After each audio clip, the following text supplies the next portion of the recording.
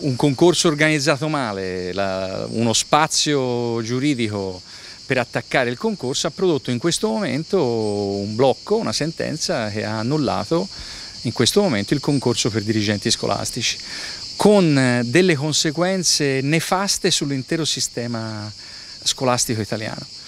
Tutto da rifare il concorso per dirigenti scolastici. Il TAR del Lazio ha infatti annullato lo scritto dell'ultimo concorso per presidi dopo che decine e decine di candidati avevano presentato ricorsi denunciando irregolarità nella prova. Sono oltre 8.000 le istituzioni autonome in Italia e sono più di 2.000 i posti vacanti eh, nel paese, soprattutto nel centro-nord. In Toscana oramai siamo a 170 posti vacanti, più abbiamo eh, 22 scuole sottodimensionate su cui sarebbe necessario un intervento normativo.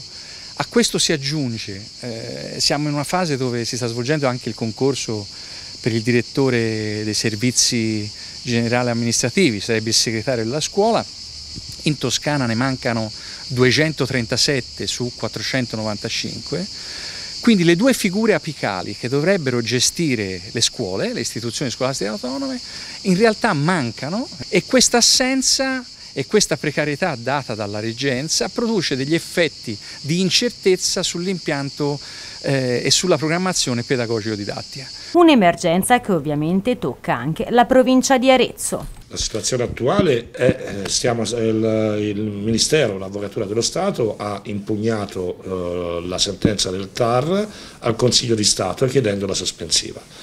Stiamo aspettando la risposta appunto del Consiglio di Stato, qualora eh, neghi la sospensiva e quindi si, vada, si blocchi il concorso fino a nuova sentenza, la provincia d'Arezzo si troverà, come in tutta Italia, senza eh, dirigenti scolastici per il prossimo anno scolastico. Non la totalità, ma una buona parte delle scuole saranno senza un dirigente.